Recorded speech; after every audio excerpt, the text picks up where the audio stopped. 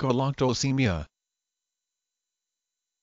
Galactosemia, an inherited disorder of galactose metabolism that occurs in newborns and can result in damage to the liver, brain, kidneys, and other organs in infants due to the accumulation of galactose derivatives in their body. Individuals with galactosemia cannot tolerate any amount of human or animal milk intake. The symptoms of galactosemia resolve if a diet that restricts the intake of galactose and lactose is started during the first 10 days of life. Galactosemia is inherited as an autosomal recessive trait. Galactosemia is due to deficient activity of the enzyme galactose phosphate uridyltransferase GALT. Molecular testing for the gene that produces GALT permits carrier detection, genetic counseling, and prenatal diagnosis.